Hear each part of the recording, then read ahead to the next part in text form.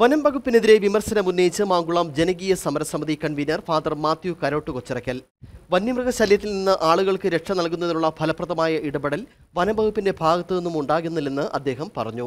വന്യമൃഗങ്ങളെ വനത്തിനുള്ളിൽ തന്നെ പരിപാലിക്കാനുള്ള നടപടി വനംവകുപ്പ് സ്വീകരിക്കണം. മനുഷ്യന് മാന്യമായി ജീവിക്കാനുള്ള അവസരം ഒരുങ്ങും വരെ സമര പരിപാടികളുമായി മുമ്പോട്ട് പോകുമെന്നും ഫാദർ മാത്യു കരോട്ട് കൊച്ചിറക്കൽ വ്യക്തമാക്കി.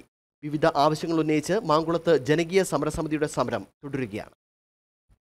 ഇവിടെയുള്ള വന്യമൃഗശല്യത്തിൽ നിന്ന് ജനങ്ങൾക്ക് രക്ഷ നൽകുന്നതിനാവശ്യമായുള്ള ഫലപ്രദമായ ഇടപെടലുകൾ കുറേ സോളാർ ജൈവ വേലികളെല്ലാം ഉണ്ടാക്കുന്നുണ്ടെങ്കിലും നടത്താനായിട്ട് ഇദ്ദേഹത്തിനോ ഇദ്ദേഹത്തിന്റെ കൂടെയുള്ള മറ്റ് പ്രവർത്തകർക്ക് ഇദ്ദേഹത്തിന്റെ നേതൃത്വത്തിലായതുകൊണ്ട് അവർക്ക് സാധ്യമാകുന്നില്ല.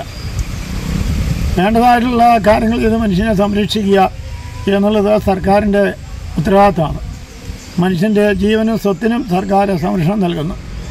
വനത്തിലെ മൃഗങ്ങൾക്കും വനത്തിനും സംരക്ഷണം നൽകേണ്ടത് ഫോറസ്റ്റ് വകുപ്പാണ്. വന്യമൃഗങ്ങളെ വനത്തിൽ തന്നെ പരിപാലിക്കാൻ പരിപാലിക്കാനുള്ള നടപടികൾ അവർ സ്വീകരിക്കണം.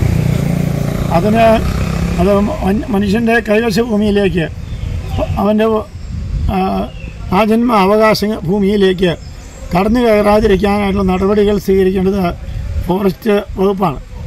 പക്ഷേ അവർ കൃത്യമായിട്ടുള്ള നടപടികൾ സ്വീകരിക്കുന്നില്ല. കർഷകരെ ഈ ദേശത്ത് നിന്ന് കുടിയിറക്കാനും അവർ തന്നെ ഒഴിഞ്ഞു പോയിട്ട് ഇതെല്ലാം വനമാക്കി തീർക്കാനും വേണ്ടിയിട്ടുള്ള വനം വകുപ്പിന്റെ ഏറ്റവും കിരാതമായ മനുഷ്യരഹിതമായ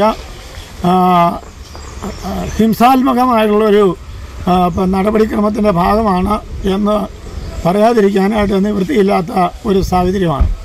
മനുഷ്യന്റെ വാസത്തിന് അനുയോജ്യമായ രീതിയിലുള്ള നടപടിക്രമങ്ങൾ ഈ ഫോറസ്റ്റ് വകുപ്പിന്റെ ഭാഗത്തു നിന്ന് ഉണ്ടാകണം.